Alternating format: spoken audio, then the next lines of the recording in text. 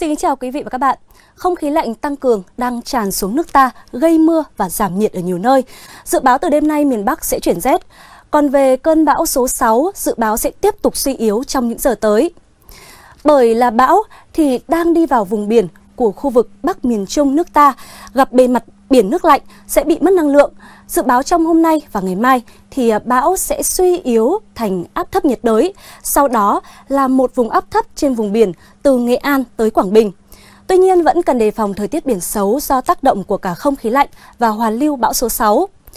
Cụ thể ở vùng biển, khu vực Vịnh Bắc Bộ hay là từ Quảng Trị tới Quảng Ngãi sẽ có gió cấp 6, cấp 7, giật cấp 8, cấp 9 biển động mạnh.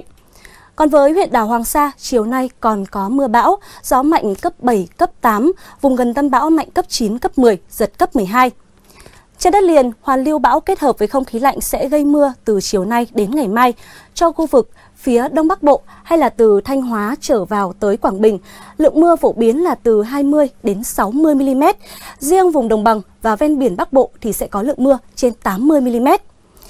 Mưa, gió lạnh khiến cho nhiệt độ giảm nhanh, Đêm nay, Bắc Bộ và Thanh Hóa trời chuyển rét, nhiệt độ thấp nhất tại thủ đô Hà Nội và phần lớn các thành phố sẽ trong khoảng là từ 13 cho đến 18 độ. Riêng vùng cao như là Sapa, Đồng Văn thì à, rét bút hơn với nhiệt độ trong khoảng là từ 9 cho đến 12 độ.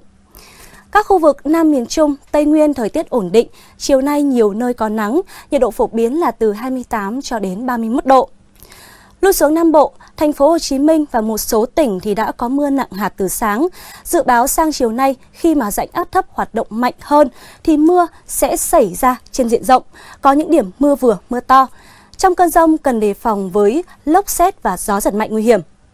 Còn bây giờ là dự báo chi tiết cho các thành phố trên cả nước trong chiều và đêm nay.